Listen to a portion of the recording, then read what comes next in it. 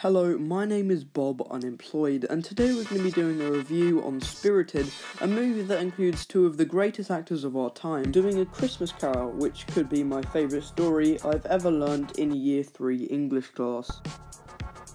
It's not very good. Alright, I think some musicals can work. The Greatest Showman was alright, Moana was great, but this movie just feels like they tried to sneak every song they had anywhere they can. I may I need to remind you that all the songs are bad.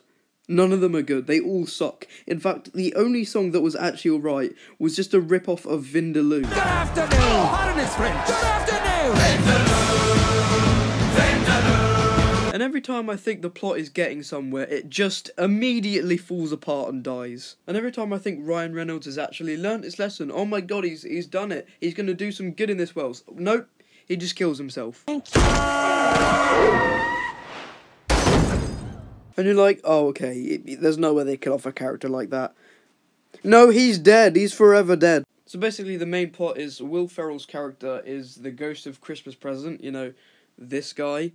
Yeah, he's that guy. And basically, he's trying to save Ryan Reynolds' character. I can't remember his name. I instantly forgot it after seeing the entire movie. And the way he's going to save him is by haunting him. Yep, that is the best method if I've ever seen it. But obviously, it doesn't work because he's a dickhead. So you just had to sit through two hours and seven minutes of just utter nothing. I mean, it's some of the most driest content I've ever seen, and I've seen the entirety of a Troom Troom video. Whoever's watching this video, just go and see it, and you'll see what I mean. It's two hours of just.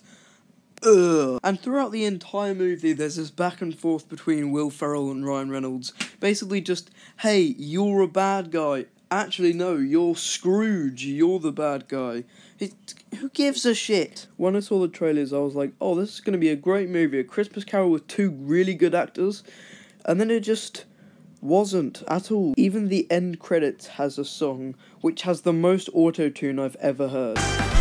You wait for the day, you prep for a year, you prep for a year. You prep for a year. It's like, yeah, maybe a bit much, editors. Yes, that was it. And if this video does better than my last, I'm going to kill myself.